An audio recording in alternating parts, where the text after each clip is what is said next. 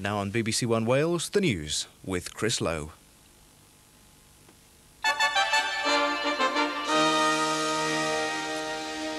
Court at Roermond in Holland has convicted a man from Northern Ireland of the murder of two Australian tourists in the town last year. Gerard Harte was jailed for 18 years, but three other people, Donna Maguire, Paul Hughes and Sean Hick, were acquitted of the murders.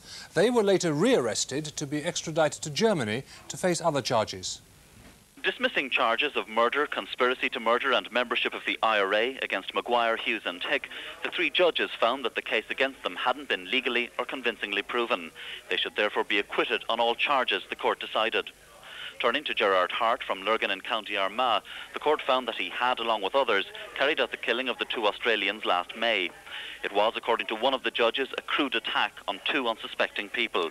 Harte was jailed for 18 years, thought to be one of the longest sentences handed down by a Dutch court in recent years. The only one of the defendants to show any emotion was Donna Maguire, who stood and waved to relatives as the verdict was announced. However, the three acquitted are wanted to face questioning about terrorist attacks in Germany and have been rearrested within the past half hour. Roger Cooper, the British businessman freed from prison in Iran, has said it's wonderful to be back in Britain. He said he was still in a state of shock after his release later last night. He'd been held without trial for more than five years on spying charges. The Prime Minister has said he's delighted with the release. Mr Major said, Our thoughts are also with the British hostages in Lebanon. We hope that they too will be released. Looking remarkably fit after more than five years in prison, Roger Cooper ate his first meal in freedom on the flight back home to London. He said he'd been taken from his prison cell, not knowing where he was going and without realising he was being released. Well, I'm really still in a state of shock. Um, it's less than, I think, um, it's less than 12 hours that I was in a, in, a, in, a, in a cell in prison in Iran. I haven't really quite got used to the fact that I am a free man. It's gradually dawning on me. Um, so, well, obviously I'm delighted to be free. Um, I think one's bound to talk in cliches and, to answer these questions. Frankly, I don't know what to say except I'm delighted to be free and to be reunited with my family in the next hour or so. Touchdown at Heathrow an hour later, and then joyful family reunions. Mr Cooper immediately paid tribute to those like his brother who'd campaigned tirelessly for his release. Then, at a news conference, he told how his television confessions to spying charges had been staged and that conditions in prison had not been difficult to endure. Anyone um, who, like me, has um, been educated in English public school and served in the ranks of the British Army is quite at home in a third world prison. Roger Cooper was held in Evin prison, at first in solitary confinement and for two years under sentence of death. Despite spending most of his working life in Iran and married to an Iranian, he was accused of spying on the country he'd made his home. He was shown on Iranian television reading a carefully worded statement admitting to spying. He said today he'd learnt the confession by heart. The freeing of Roger Cooper is another step away from the Khomeini past and the bitter anti-Western feeling. Iran's moderate leaders now anxious to normalise relations with Britain.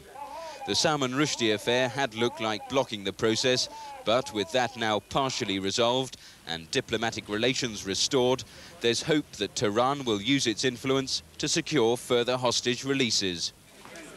Amid chaotic scenes at Heathrow, Mr Cooper left to begin piecing together his life. He said his first task was to get a job. Before that, the family will enjoy celebrations they've waited many years for. France is to ask the UN Security Council to act quickly to end the massacre of Kurds and Shiite rebels in Iraq. A Kurdish rebel leader has appealed to the West to save his people from genocide and torture. Thousands of Kurds are reported to be fleeing to the mountains. The rebels say the international community is allowing Saddam Hussein to crush the uprising. Reports from Albania say three people, including a leading member of the opposition Democratic Party, have been shot dead during a demonstration in the northern town of Shkodër. Protests have followed the country's first free elections in nearly 50 years, which seems set to give the ruling communists a two-thirds majority. Britain's biggest teaching union has rejected a boycott of government plans to test the classroom performance of teachers. Delegates at the National Union of Teachers annual conference in Scarborough voted against proposals for a ballot on a campaign of non-cooperation. And that's it. The next news is the one o'clock news. Hello, good afternoon. The latest headlines now from Wales. Rescue teams have found a fell runner who'd gone missing during a race across the Brecon Beacons. It's not known what condition 41-year-old Carol Matthews from Cardiff is in. Mrs Matthews, who's a member of the Penarth and Dinas Running Club, failed to turn up at a rendezvous point yesterday afternoon. Detectives are still looking for two men who ransacked the safe at the Chrill Bingo Hall. The robbers, wearing balaclavas, attacked and tied up a worker after forcing their way into the manager's office. Fire officers have rescued a man and woman from their blazing home in Neath during the early hours of this morning. They were both taken to hospital suffering from the effects of breathing in smoke. Wales' oldest man, Jack Strath from Newport, is celebrating his 107th birthday. Jack spent 30 years in the Royal Navy after signing up just before the start of the Boer War. He says the secret of long life is learning to eat properly and the odd tipple of rum. And they're the headlines so far. The weather forecast now for Wales for the rest of the day. Staying wet and windy, I'm afraid, throughout much of the morning with gales on exposed western coasts. But later, drier, brighter weather will reach the north and slowly spread southeast. Temperatures will reach 12 degrees Celsius. That's all so far. I'll be back with a full round of the morning's news of Wales at 5 to 1. Good afternoon. Well, there's no doubt where the brightest of the weather is today. It's over Scotland and Northern Ireland. Some very pleasant sunshine indeed, but a scattering of heavy showers as well. And it is fairly windy. In fact, the wind is a feature of the weather throughout Britain. Quite strong winds, quite gusty winds blowing right up from the southwest. Now, those winds will continue for much of today, but then beginning to moderate overnight, but keeping going, I think, up in northern and western parts of Scotland near gale force around some heavy squally showers there. Well, the satellite picture picks out the cloud. It also picks out the breaks in the cloud coming across Scotland and Northern Ireland. But the heaviest rain certainly is running up into northwest England out of Wales and the West Country. That rain likely to move only very slowly for the rest of today. For the southeastern half of Britain, then rain never too far away, some of it heavy, driven on by that strong wind. As you head northwards, though, it does brighten up quite a lot, some sunshine around, but a scattering of heavier showers developing, some hail and some thunder coming along. That brighter weather just nudging a little bit further into northern England, West Wales perhaps, during daylight hours today.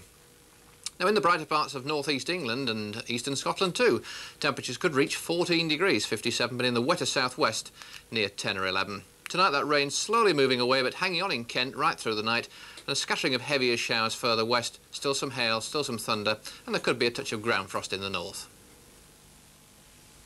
Now, are you feeling a little sluggish? Do you need to lose a pound or two? Well, join us now on BBC One Wales at Rosemary Conley's Diet and Fitness Club.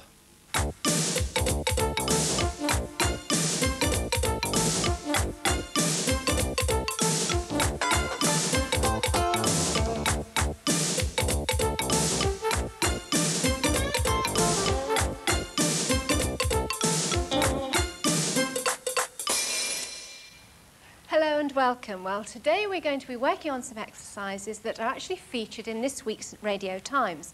In fact, I've written an action plan for summer, which is going to whole body workout video.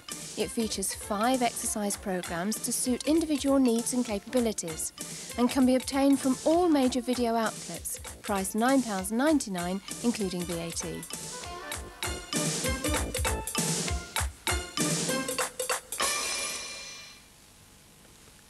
Now on BBC One Wales, live from Pebble Mill in Birmingham, Judi Spiers and Tim Grundy present Scene Today.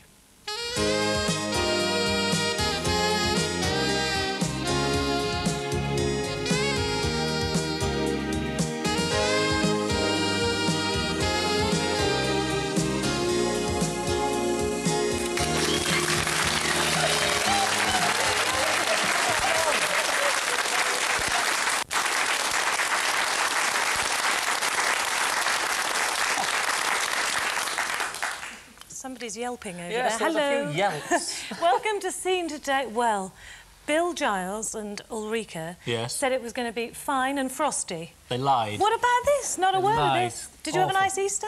No, actually, because uh, the weather was dreadful. I was in the only part of England that did have dreadful weather over the weekend.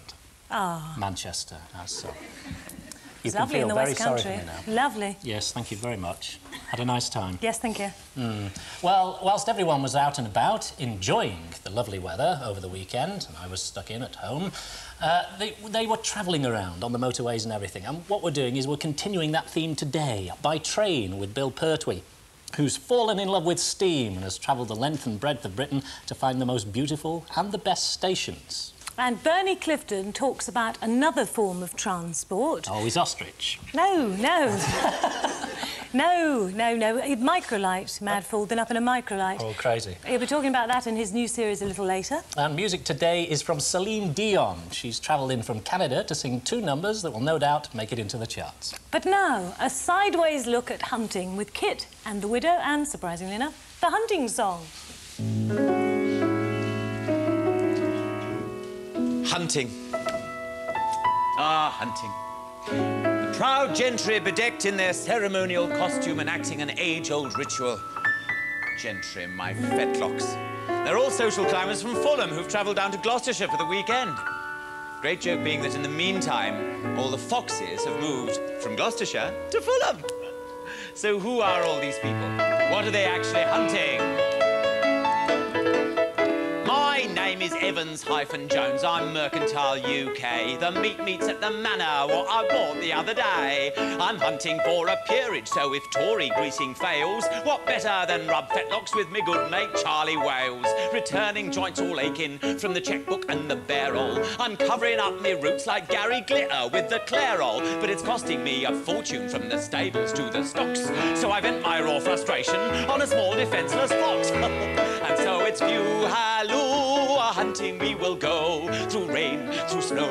Come huntsman, blow your tally ho, nobility and vermin at the ditch. And who's to know exactly which is which?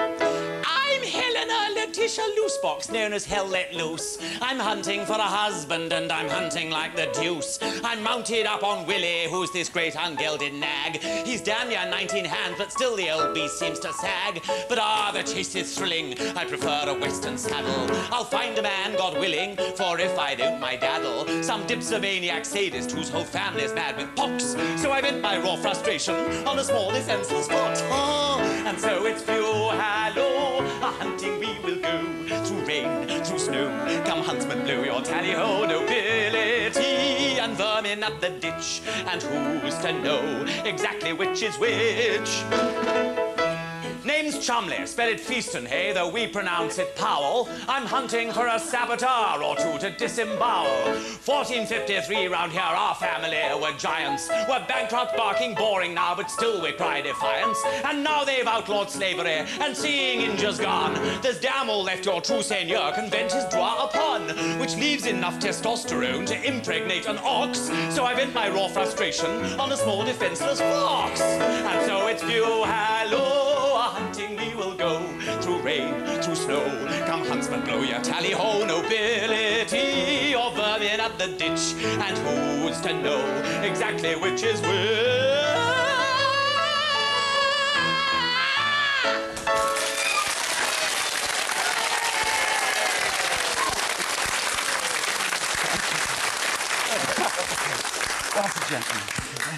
Very, very nice. You're actually on at the uh, the Vaudeville.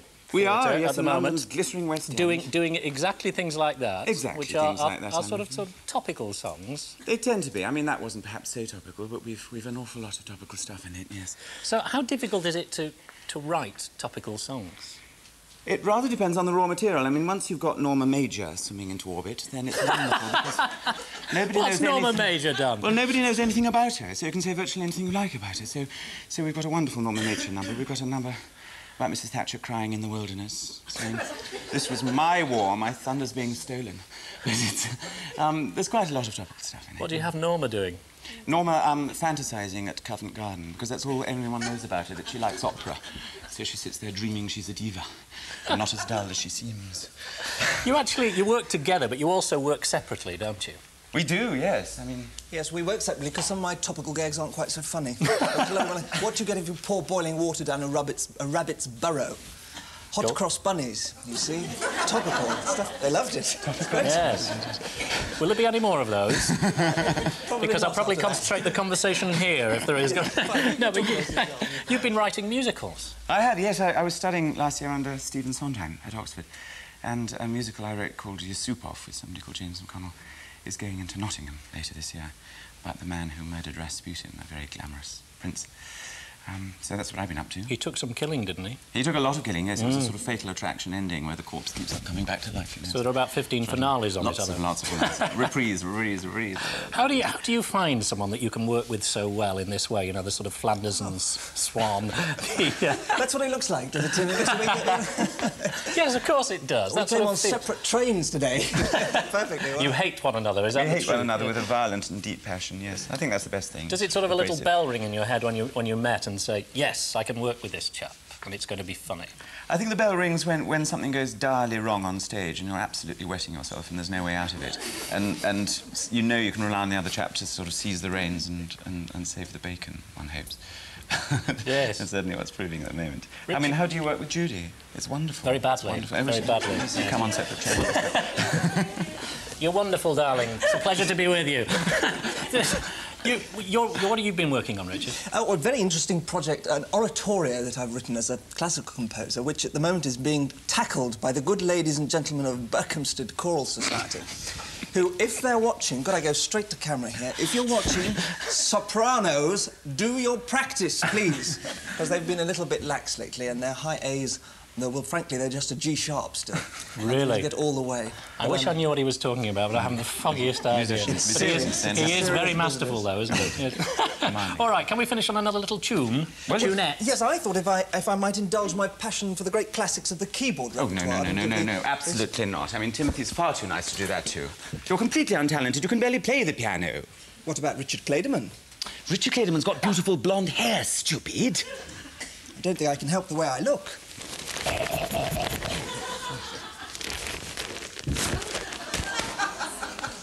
Ladies and gentlemen, the Elephant Widow will now play the Rondo alla Turca by Wolfgang Amadeus Mozart with a jiffy bag on his head. Thank you very much indeed.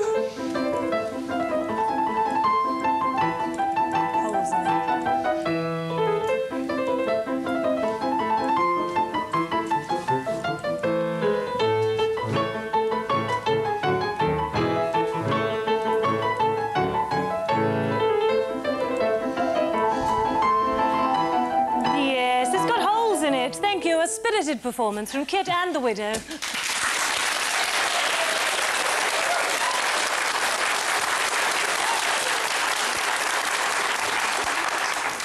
Could barely tear myself away there. Now, Easter is the traditional time to shake off winter blues, to start exploring again. Our next guest, who's an actor as well as a writer, encourages us to do just that. Before we meet him, here's a clue as to his great passion after acting. The king's coming! King's coming!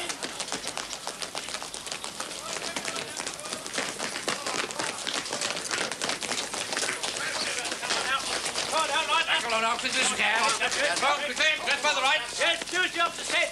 Dress by the right for the king. All civilians to the rear. All Don't civilians to start. the Get to the back. Don't- don't shove me, mate. Yes, and don't you shove me from the side. Right, Good, good, good, down. Ladies and gentlemen, Warden Hodges' Bill Pertwee.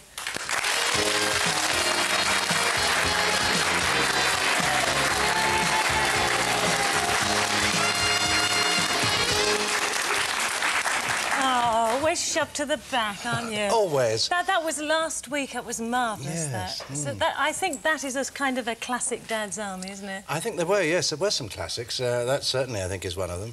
And we had a lot of fun doing it. We nearly had a serious accident as well. Oh, in that one? Mm. Why? What happened? Well, in the, the, there's this pump trolley which we followed the train. Oh, yeah, yeah. Myself, the verger, the vicar, and the, and the mayor.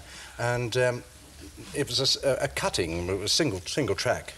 And it was made on the North Norfolk Railway between Weybourne and Sheringham, you see. And we were having to follow the train, and it was a, a downward slope. So it was getting up speed, and we're, we're pumping on that thing, but it was going faster than we were actually pumping. Mm. And at one point, it caught in my pocket. there, and I went straight up in the air, And if the, the verger hadn't had the presence of mind, in fact, I was going forward. And if he hadn't had the presence of mind to tear my pocket so the thing actually came out, I would have gone over the top. And you wouldn't be here today? Well, I might have been here, but I might have looked a bit strange. Stranger than I am. I read somewhere that there are plans to start the series all over again in Australia. Yes, uh, yes, I, I think so. I think they're, they're at it now. So you'd be going over because sadly uh, you and, and Hmm. Ian Lavender are the two remaining. No, no, it's Clive Dunn. Oh, of course, Clive. Yes. Clive, oh, you'll yes, kill me for that. Yes, yeah. in, in Portugal, languishing in oh, Portugal. yes, running a bar in Portugal. running a bar in Portugal, and uh, the vicar, Yeah. of course, you know, he's he's uh, the vicar has, has been uh, uh, raised to the to, to the bishop bishopric now Mm. in the new series You Rang My Lord, Right. which we should be starting another lot soon, which is lovely because I mean seeing Kit now, um, his we're with his lovely wife again, Kate. Oh, Kate right, Babette, yes. you see, yes, it's nice to see him. And the book's going well. I mean, you've di- uh, Well, is it two yes. books or just a reprint of, of one No, book, it's the, Dad's reprint, Army yes, book? the Dad's Army book came out and, and uh, really sold terribly well about Mm. 18 months ago. In fact, they sold out, but they only reprinted about four months, four or five months Mm. ago, and it's selling well because of the series. Yeah. But it's uh, you know, and that's all the, the behind-the-scenes stories about making Dad's Army. Really, Yeah. all the little funny, funny things, you know. Uh, which is one story which I didn't actually get in there, and I remembered afterwards uh, about John Le Mesurier and myself. But when we were away at the hotel filming in, in Thetford, he said one night, "Don't let's have uh, dinner in the hotel. Let's go and get some fish and chips." So I said, "Right, we're going to get some fish and chips." About ten o'clock at night, and uh, we got the fish. I said, "You're not eating them in my car, smelling the place out." I said, "We could drive around and we'll find a place." And, and it was a lovely moonlight night, and we found an old bus shelter on a small road, and we sat in there eating fish and chips. And he said, "Amazing, isn't it, Billy?"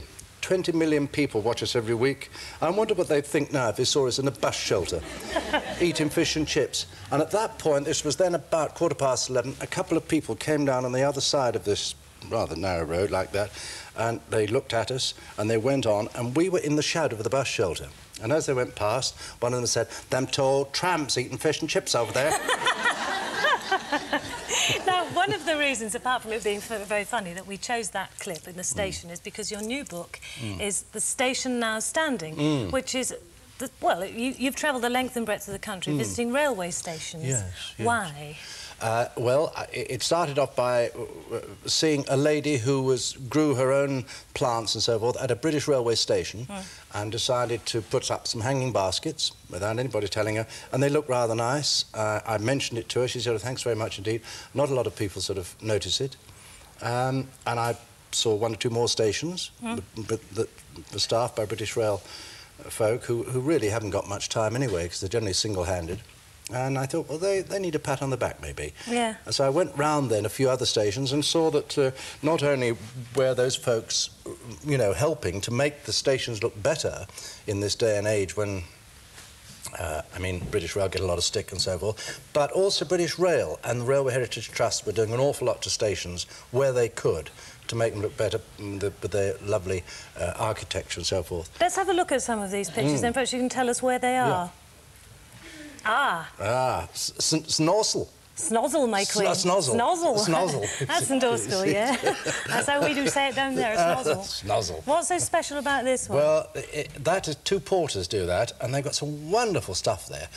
Wonderful flowers. When you come up to the station, you think there's nothing there really Yeah. outside. It's a rather nasty sort of car park and an old hut, and I think the buses turn around. You go in the station, and they've got these lovely palms, Yeah. and they've picked out all the uh, Great Western Railway names uh, on, on the bridge and also the seats in gold, and so you've got these lovely GWR signs picked out, and they've done all that themselves.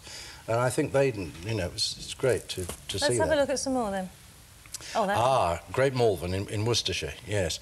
Well, now, Great Malvern, that's, that's Lady Foley's tea rooms. the, the little, the little uh, seats there at the tea room. She was a very famous lady in the area, Lady Foley. Her, her tea rooms attached to the station.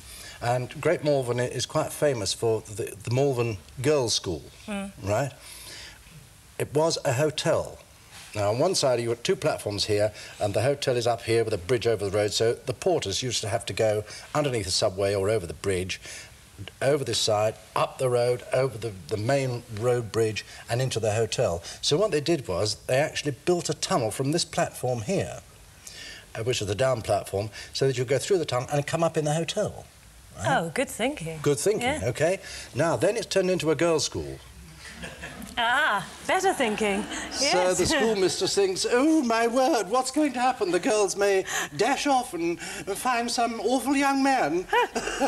you see, so they closed it up, and it's a great show. But it's still there. The, the, the gateway to it, the little uh, arch gate is still there, a bit Oh, rusted up, but it's still there. Have we got another one. Uh, what else have we got here? Ah, Oh, that's the... Bernard that's- Cribbins and the Railway Bernard Children. Cribbins, yes. Now that's the magic. That's how I remember the That's sort of right. magic. Well, I that's- bet. Did you go to um, on the old Great Western line Mm. in the West Country from Yelverton to Princetown? There is the only station in this country, and I think it's um, King Tor, which has got a sign saying "Beware of adders." You haven't got that one in your book? No. Oh, it's, I'm full of it. Yeah, and at Coryton in Lanson, Mm. Launceston, as you might call it, um, I think that's a station that's been taken over by, by people and they live in it now. And that's between the River Lid and the Loo.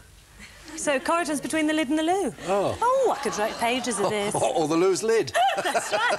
So you must have had a great time travelling the country. Well, well, I have. There, there had to come a time when, when the publisher said, "Stop! Mm. You've got to, we've got to publish the book. Don't keep, you know." And I couldn't. And I'm sure that we're going to. Well, it's obvious now. I think we're going to have to do a second edition. Oh, yes. well, I Because- could, you put my stories in. Well, of course, I put your story. Yes, she's got a very boring story. This, this girl. Yes, I've got Yes, a marvel. Oh, what a shame. Have we run out of time? We're I was probably- going to tell you about Brunel's atmospheric railway. You were, no, I've yes. just been told to shut up Yes, because they've uh, heard it before. Perhaps it's just as well. but you come, you come and write the second edition with me. I will. We'll go round the West Country doing that area. I can't wait. Thank you, ladies and gentlemen, Bill Pertwee.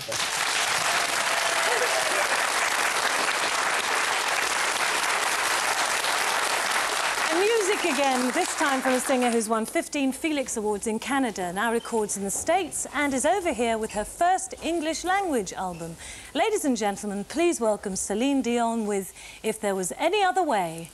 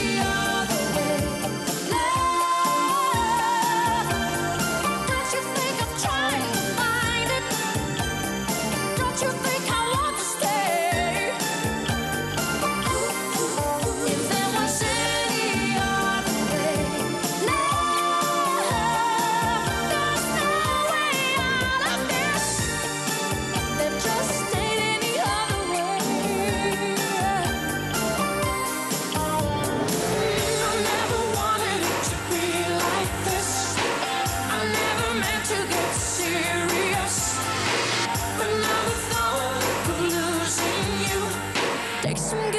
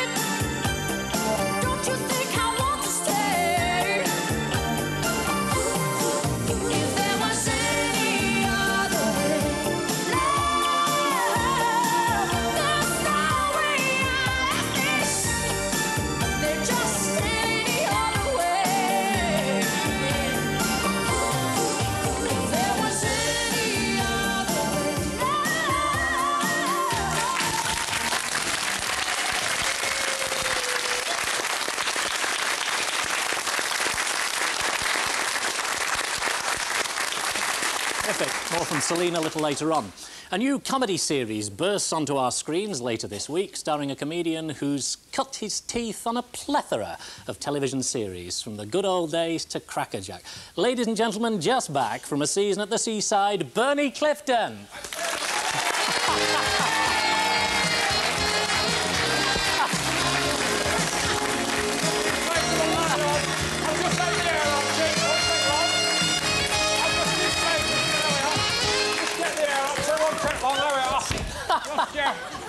Hang on, Tim, won't take me a minute. Just What are you doing? There we are. That's it, Tim. I'll tell you what, missus, have a go at that, will you? Just sort that out. Hey, Tim. It's good here, isn't it? No, hang on a minute. Sorry. Oh, look.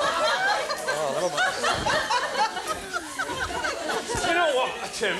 Hey, do you know, I've, I found out his secret how he keeps cool. They got they got these powerful batteries in. How did he work these? Yes. Oh, oh, oh, oh, oh, hang on. Oh, it's so powerful. it's so powerful. I've no idea. Quick, whoa, that's better. Oh well. Who said satire was dead? Make a quiet entrance. I was just about to say that was a reasonable ah. entrance, that one, yes. Ah, yeah. What, uh, what's the diving suit The all diving about? suit, well, you've got, you need one for the seaside. I'm doing a, I'm doing a season at Butlins this summer. I'm doing Skegness. She's tossed him aside, by the way. She's just Yeah. thrown him on the floor.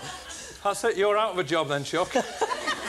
Just How's checking. how's he treating a man like that? Just checking the inflation rate. Go on. yeah. well, I'm doing this summer. I'm doing Skegness. I'm doing Bognor, Pwllheli, Minehead. Then the following day, I'm doing. Uh... so I've just been to the sea. I've just been to the sea. That's where I've been rehearsing all, all weekend at Butlins. You know. What? Gets me out the house. Talking of talking of props, which uh, I mean that's a fair-sized prop. What, think we ought to- where, where is the ostrich? Is he called Oswald? I knew there was something I can't. uh, I've put him at one side at the moment. I've shelved him. He's in uh, sort of. He's in. Uh, he's on. St- Ah, that's. a... Oh, but hang on. Yeah, I've got to keep doing something different, missus, you see. and uh, it's just a question of uh, if you don't keep trying to stretch yourself and do thing, different things, you get... It's like a narrowing tunnel, I think. Yeah. And people come and see me live and they say, I didn't know you could do that. I didn't know you could do this. And they just think they see you and they accept they've got a preconceived idea that I'm going to come out and do an hour on the ostrich. But it did twig with everybody, didn't it? I mean, It every... did- you can't knock it, but it is a double-edged sword. It, it means that um, people have a, a great idea. They, they just pigeonhole you. You know what I mean? They think Yeah. that's what he does, fine, and then they think about something else, and they, and they don't think any more about it. So I'm, you've got to go out and keep proving that you can do different things, which is hopefully what I'm. You started, what I can do. you started off doing